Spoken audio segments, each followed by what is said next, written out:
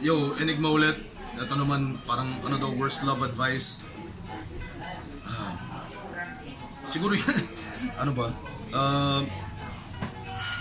para madali na lang siguro yung yung kakornea na ano, walang forever na ganun. Parang, I guess worse yun kasi parang, I guess even in a, in a, parang physics sense, wala naman talagang ganun. Wala naman talagang forever lahat.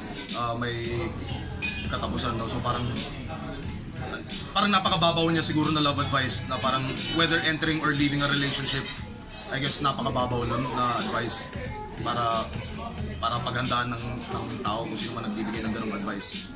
Ah, yun pati yung sana all, parehong corny yun. Parehong, parang dapat di na, di na sinasabi yun.